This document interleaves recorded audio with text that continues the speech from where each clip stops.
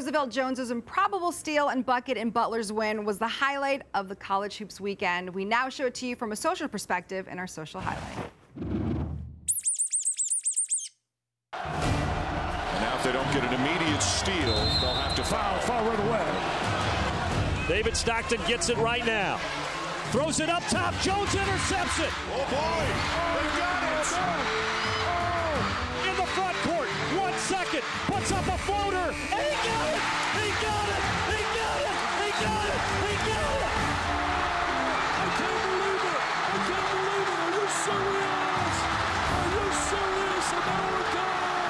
Butler has knocked off Gonzaga 64 to 63.